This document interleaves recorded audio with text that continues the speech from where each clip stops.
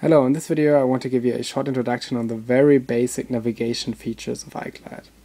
Although iGlide features very sophisticated task planning mechanisms, it still is extremely simple to navigate from one point to the other. If we simply want to navigate to one point somewhere, we have two basic options.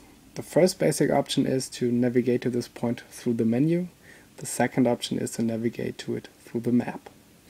The first thing I want to show you is how to find a point in the menu. If we enter the menu we have two different options. The first one is the direct to option and the second one is the nearest airports option. The nearest airport list, as the name says, gives you a list of the closest airports to your current location and this one is sorted by distance. So for example you can see the closest one which is the upper one and then you can scroll down and see all the airports in your vicinity. The second option we have, the direct to page, gives you access to um, all of the stored um, airports in the database you have activated. And you can simply scroll through them, they're sorted alphabetically.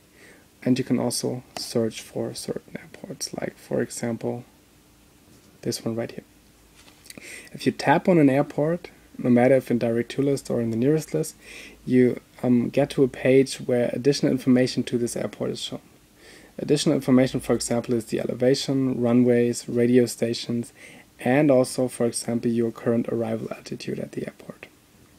Now, if we want to navigate to this airport, very easy, simply tap on the Direct To button in the upper right hand corner and you can navigate to this airport.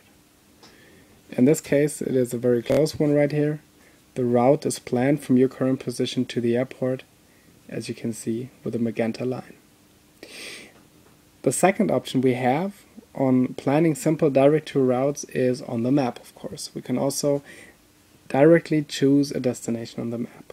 To do this we simply tap on the map, a contextual menu appears which gives us certain options and it also gives us the possibility to again enter a detail page of the airport we tapped on and we can again simply tap on the direct to button to navigate there. So as you can see it is extremely easy to select a destination and to navigate to a destination, whether it is on the map or through the menu. Thank you very much for watching. If you want additional information, make sure to check out our other videos on our YouTube channel or have a look at our website at www.butterfly.aero.